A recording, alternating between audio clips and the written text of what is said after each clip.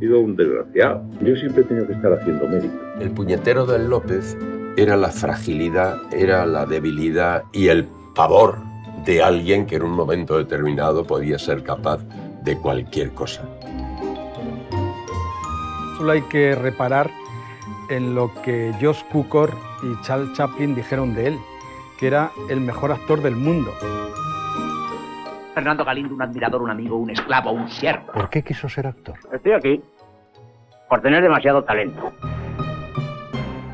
Yo pienso en Jack Lemmon, pienso en Alberto Sordi, en Vittorio Gassman, en Mastroianni, en Gary Grant. Son actores que son capaces de hacer cualquier cosa. Y López Vázquez pertenece a esa, a esa raza. Tú te acercas con una cámara y te encuentras con los ojos de López Vázquez. Es el mundo, porque te encuentra la historia con los ojos. Una vez que ya empecé a tener veleidades ¿no? y, y, deseo de ser actor, ya sí me fijaba en él como a, eh, un gran maestro. Les aseguro que no sé nada. Se me parece absolutamente asombroso. Ni método de Stanislavski ni nada. Método de López Vázquez. Lo que pasó con mi querida señorita es que él estaba muy preocupado. He traído un pequeño recuerdo. ¿De tu pueblo? Digo, pues será posible este tío. ¿Cómo ha medido esto? ¿Hasta qué punto?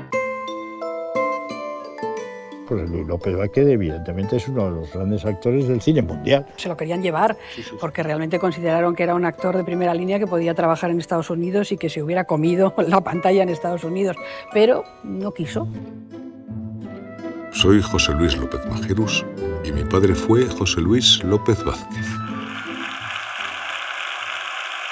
Dedico también este premio a un amor tardío.